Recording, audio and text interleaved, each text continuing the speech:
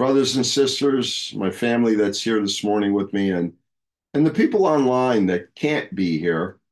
And a lot of them, they thank me every time I make sure they get the teaching. They thank me because they either got to go to work. And I thank God for being able to record, for Gerald coming here a couple of years ago and teaching me how to do all this stuff. I had great fellowship yesterday. Keep Steve going. He's doing well.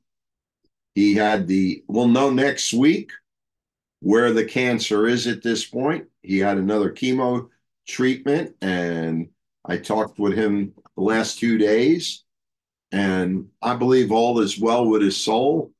It's the best, I, you know, he's been with me for eight years, and it's the best I've ever seen him. It encourages me to stay on that narrow road with God, that we can all benefit from being doers of the word of God. So, Psalm 70, uh, I'm recording this. It's only five verses, and let me start.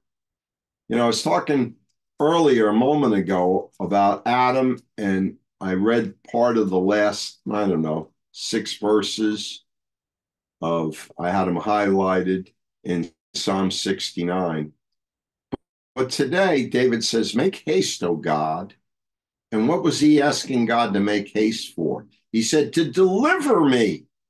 Make haste to help me, O Lord.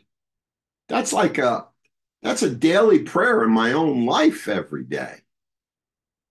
I need your grace and mercy, Lord. I need to get through the day. I need to get through the troubles of the day. Give me wisdom. Let me not react too harshly to people. Let me become meek and humble like you are, Father. As I read the Word of God, you know, teach us to be more like you, not just me, all of us, Father. I heard that testimony from Linda last night, and it really moved my heart that she's using your way to reach her brother in law. And she confessed, confessed, not confessed, but confessed that she had anger toward him. And there's restoration now in that relationship. So, Lord, deliver us. You know, I'm speaking corporately for all of us that that don't walk the way you want us to walk. And then we always use this second verse when we're battling the enemy. Let them be ashamed and confounded that seek after my soul. That means the the enemy that's trying to stop us from serving God, brothers and sisters, because it's a spiritual battle. Make haste, O God, to deliver me. Make haste to help me, O Lord. Let them be ashamed and confounded that seek after my soul. Let them be turned backward and put to confusion that desire my heart. Well, it's not human beings, people. This is all spiritual. You know, we all have an enemy knocking at our door, and it doesn't stop.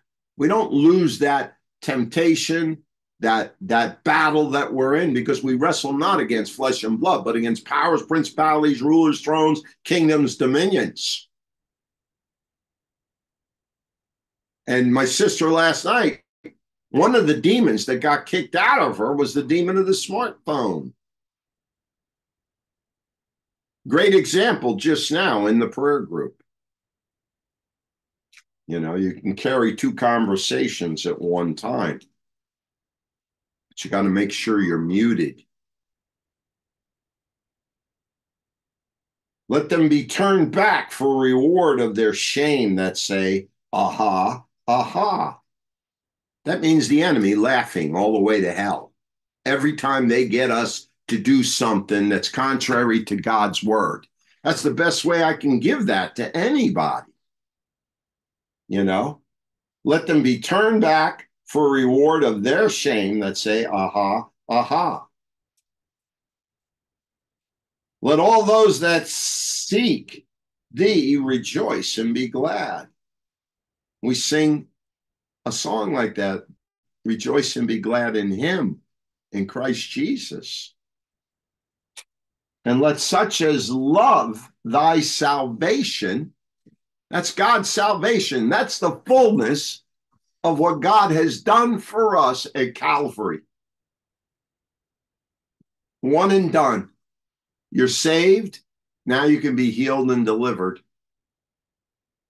Salvation is, is a walk of grace with God, and it's God's grace that we're even saved so that nobody can boast. Because we all sin and fall short of the glory of God. I don't care who you are. And if anybody says they don't sin, they're the Bible says they're liars. Now, whose report you going to believe? God's real straight up in the Word of God. You don't need to go to college to understand that. You know, I, I watch all these ministries online, the pastor in deliverance. You know, he gets really mad at the people. He starts screaming and yelling at them.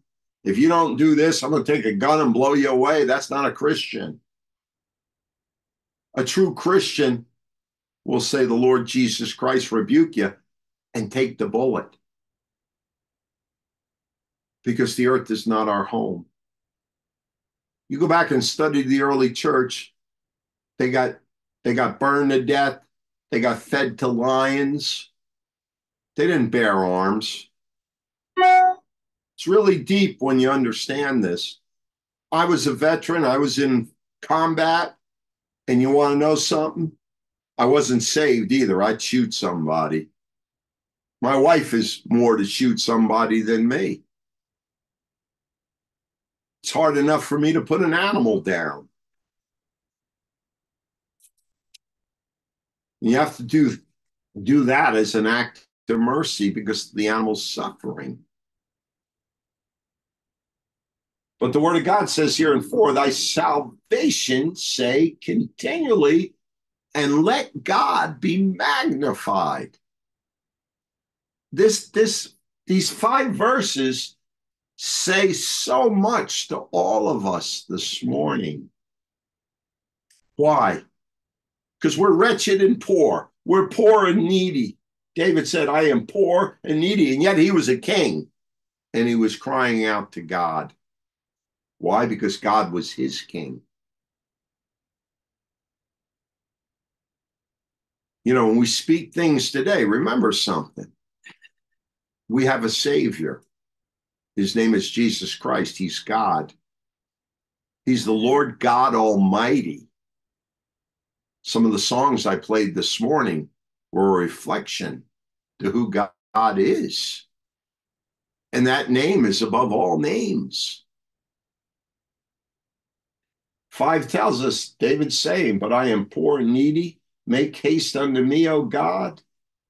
Why? Because thou art my help. And what else? My deliverer.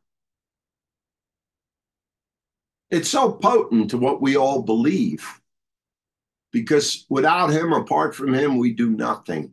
With him, we can do all things. He delivers us out of darkness. He brings us into the marvelous light of his instruction book. To God be the glory. If we want to serve him, all we got to do is walk with him. All we got to do is open the Bible and say, Show me, teach me. And say, Yes, Lord. Because at Calvary, he bought us with his blood. He did something that was beyond that. It's it's beyond my brain when I think about it. You know, I'm saved by grace. I'm saved because I had a, a filthy mouth, a crazy lifestyle. But there's many like me. And I, I turn around. He says, David says, Thou art my help and my deliverer. I can go back to when I was on my knees and I needed God to help me. And he did. And I made a vow and I said, I'm going to, I'll serve you. You help me and I'll do whatever you want me to do. I didn't know what I was going to do. I just didn't want to go to where I was going in life. Oh Lord, make no tarrying. In other words, I need this grace right now, real time. And that's something you can do, like I do, is take a small chapter, read it and read it. Why? Because David was in a hurry. He wrote this brief psalm because God was not in a hurry. Three times he cried, Make haste. And he ended with, Do not delay. You know, I can tell you so many times in my little life that I've cried out to God, and many people around me have seen me where, uh, please let me pray. I tell people, I said to, to a sister yesterday, uh, I don't agree with what you said. Let me pray and fast. And then she realized, I'm serious about what I'm speaking.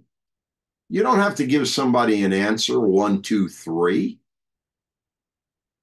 But if you submit your plans before the Lord and your your life is walking with the king on a daily basis or a weekly basis I've always taken the time to go to God in prayer and fasting even with getting this little puppy I wanted I wanted God to give me a green light because I got to make sure I'm here to take care of that puppy and I don't know how long I'm going to live. I, I can't, I'm not prophetic that way. I see there, uh, a word faith minister died last night, you know, and I, I look at all that, you know, faith, if you believe in Jesus Christ, God looks at a person's heart. None of us can look at a person's heart. We don't know what's going on. I know many people that love God and they got demons operating in them, but they do love God. They profess Jesus Christ. You know, the Word of God says if you confess me with your lips and believe in your heart, you're saved. I don't go beyond that. But I go to God in prayer about just about everything nowadays, including fasting, including should I take the time and either pray for people in the secret place or waste time trying to pray for people in deliverance. Because sometimes you can go months praying for people, even years. And there's no difference. So David was really beat up here because God's timing, brothers and sisters, is always perfect. Like Peter sinking into the water. Remember when he was walking on water with Christ? He believed in Christ. But something caused him to start sinking in the water. He did not have a time for long prayer. That's why prayer and fasting is very important in a disciple's life. You go back and you study the epistles, you listen to what Paul wrote. Well, he had some wisdom. You look at John, the Gospel of John, the love gospel. John had wisdom. When you go to the epistles, first two and three, of which I started last weekend on the pulpit, and I have to continue and I'm not doing it this Sunday because I'm going to my daughter's church. I, I think about the men of God. I think about the word of God. That even Peter, he didn't have time for a long prayer. All he could do was cry, Lord, save me. I think about that. I went off a motorcycle totally destroyed the motorcycle on the Garden State Parkway. And all I could do is cry out to God when I was going over the handlebars. I didn't break a bone. Get it? I said, Help me, God. That's all I said. He knows. Couldn't walk for a week. Got taken to a hospital in an ambulance. You know, I recollect that. That's in Matthew 14 30. That's why I said, you know, I could talk about this a little today. I've lived these many, many different things I've lived apart from God, even to the fact of fornication even after I was a believer. You know, sin is sin. Lying is sin, stealing, robbing, all that stuff is all sin in God's eyes. That's why we needed a savior. None of us are perfect. And everybody gets tempted. That's why Jesus illustrated you can look at a person wrongfully and commit adultery or fornication in your heart. You know? Why does God delay answering our prayers? Surely he can see how desperate we are and in what situation we're in. God does promise to give us grace to help us in a time of need. And that's in Hebrews 4:18. So when when you sit here and you think about God, grace, many times God gives all of us grace because he knows we need help. That's the best way I could describe it because I can, grace is just a gift from God. And when I explain it to people about salvation, well, we all sin and fall short of the glory of God. So it's pretty easy to, to be a representative of God if you got the zeal and compassion to realize that apart from God, that person's going to go to hell. And after battling demons for the, the amount of years I've been doing it, it's more important to make sure a person's saved. Demons we can deal with.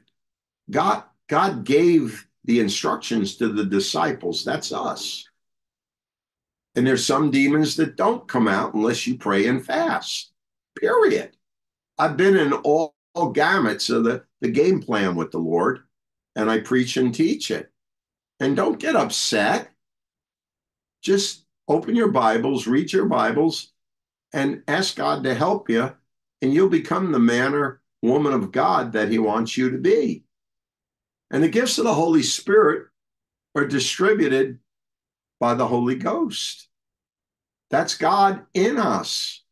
Most people don't even understand Trinity. They don't understand the Father, the Son, and the Holy Ghost. But if you're living the Word of God, you, you understand it because God always shows up, even in a time of trouble, where He rescues us. He gets us out of harm's way in a supernatural way just like Jesus disappeared when they were trying to capture him. And he just like disappeared. Well, think about that a little. You know, your father's timing is never off or never wrong, brothers and sisters. Just like he knows what we're going to pray and talk about before I sat behind this desk today. I'm not reading a script right now. I'm preaching and talking from from a little commentary and out of my heart. When God waits, we have a better gift for you than what you're asking Him because God's always perfect, you know? His delays are neither, uh, the commentary says, uh, denials nor defeats, but you're to put your times into God's hand. And we all know in, in the Psalms it tells us to wait upon the Lord. You know, I will wait upon the Lord. I mean, there's so many songs that people write that are actually uh, verses out of the Psalms. And Joseph, even Joseph, when Joseph was in prison, had to wait for God to free him and then to reconcile him to his brothers. Israel had to wait for deliverance from Egypt. Moses had to wait through 10 difficult plagues before Pharaoh would let the people go. Joshua and Caleb had to 40 years before claiming their inheritance you know, and life goes on. I, I've been walking, it'll be 38 and a half years soon. And I got to tell you, I've had a lot of ups and downs as trying to walk as a, a born again Christian. And the delay was not entirely my fault. You know, we have bumps in, I call it bumps in turbulence, like when you're flying across the country or across the oceans. Sometimes you hit turbulence, and it could take, I've seen people's eyes get really feared out when something was going wrong in turbulence in an aircraft. But when you travel a lot, you get used to that. David had to wait to receive his throne. Look at how many times he went and hid in the woods from Saul. Mary and Martha had to wait for Jesus to come to Bethany. And while they waited, their brother died. Think about what I'm saying. And God wasn't in a hurry. He was dead and he rose him up. You know, I don't know about you, but I, I, I've been on the battlefield, and I also know that when a person dies or an animal dies, it begins to get not too good. But God is not in a hurry, even when we are. And his schedule is better than ours. And that's where faith comes in, brothers and sisters. I looked at this this morning in uh, McGee's book because I always I like Vernon McGee because he's a he's a uh, closer to my heart because I used to listen to him. And here's what he said in his commentary today. And this is what I'm going to close with.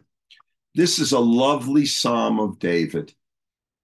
It contends also to be found in the last five verses of Psalm 40. One of the critics once said, it's a fragmented, accidentally inserted here.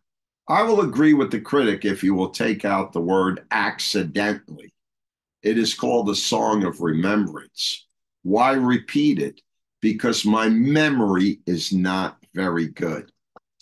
And good pastors know that because sometimes you could tell someone over and over again that something is not good and they don't get it. You could read the word of God over and over again and still not put it into practice. But when you get burned enough times and you're really diligent in seeking God's will, you're going to reread scriptures, and then all of a sudden, that fog or that cloud comes off of us Oh my, forgive me, Lord. I need to make a, a spiritual adjustment.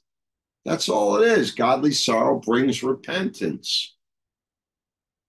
I can imagine that God, by the time McGee gets to the point in this book of Psalms, he will have forgotten almost Psalm 40. I'll repeat it.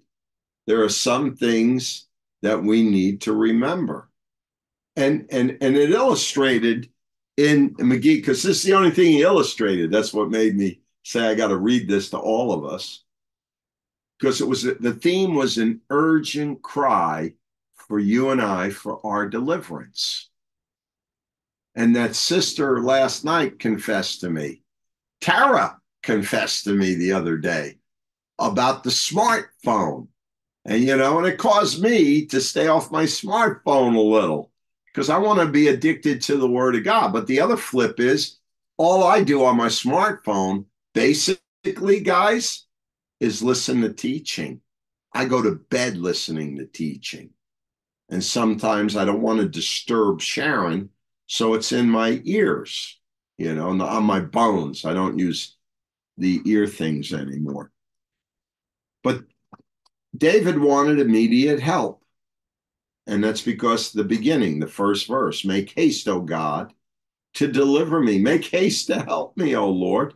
Just like I said when I was going over the, the bars of my motorcycle, people. And that wasn't the first time I went down on a bike, but it was the last time because, man, I came close to being annihilated. And I had a family to raise. You know, and I, I used to yell at Steve and tell him the same thing. You got a daughter you're raising. Why are you out there at your age riding a motorcycle? And you know what? God corrected him gently.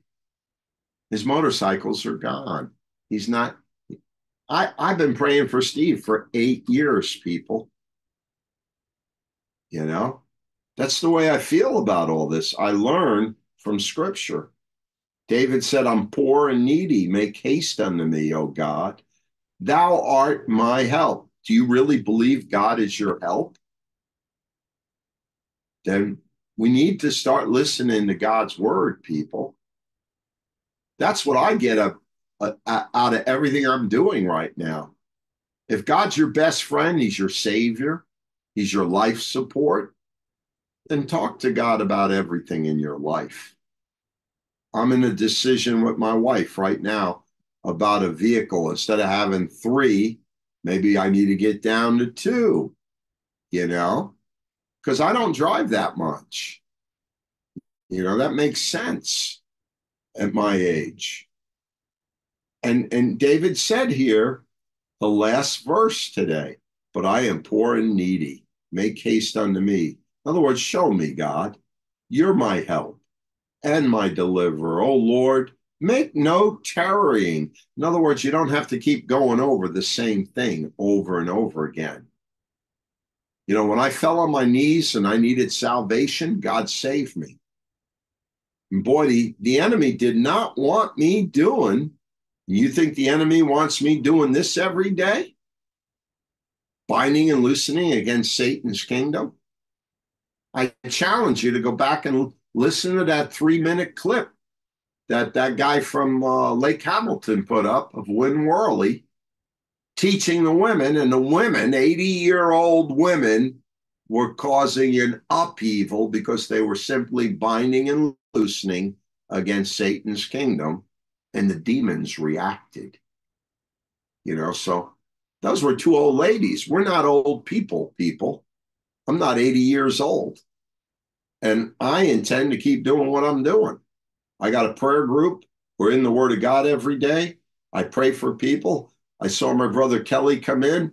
I prayed for his grandson immediately. He knows that because Kelly's known me for a lot of years. Anyone that calls me, I don't care if you got aught with people, forgive them. They know not what they do. That's what's going on in our spiritual war but you got to love them because they're part of God's creation and they're made in the likeness of God. Once you start getting into winning souls, you'll become somebody, and the enemy is really going to attack you. You know? So is it that we fall in a class of poor and needy, and he wants uh, me to know that? Or is God my helper, my deliverer? Brothers and sisters, God is always for the poor and needy. Remember that. He tells us in scripture always remember the poor. So we're walking with God every day. And and all the good blessings come from above. You know, one thing I could share in closing with my daughter, she was raised in the church from the time she was a little girl. She continued in church, and today she supports and gives to the church her and her husband and my grandchildren go to. And so does our other daughter. You know, there's still a couple of floundering ones in the group. And that's where brothers and sisters have to remember it's a spiritual battle. And we're all in it together. And when we come together in this battle, the testimonies, the victories continue to grow. Why? Because of our faith in Jesus Christ. And that's how I'm going to leave this off today. Little, little of my heart, little of my preaching. Tomorrow is Psalm 71. And I pray that this touches and reaches someone. You know, I was missing the other day, I was telling you guys, I was missing Nicholas Gilman. I found his card. It was in another Bible when I was reading Bibles this morning. And this is the guy that came here to quote me on some windows. And the most important thing got done for him. He got saved.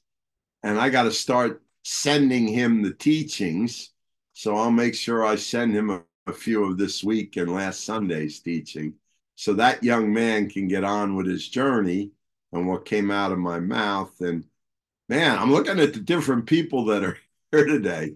We haven't had a, the last time I had this many people in the prayer group was when uh, Jan and Debbie were here with us. And uh, it's kind of funny, you know, because all it is is a prayer group. And God bless you guys for coming in early and agreeing with the prayer this morning. And I hope somebody got something out of what the five verses said today, because I sure do. I, I just love speaking Jesus with people. And it doesn't stop in the prayer group. Make it a part of your life, and you'll start winning people to Christ. Amen. Amen.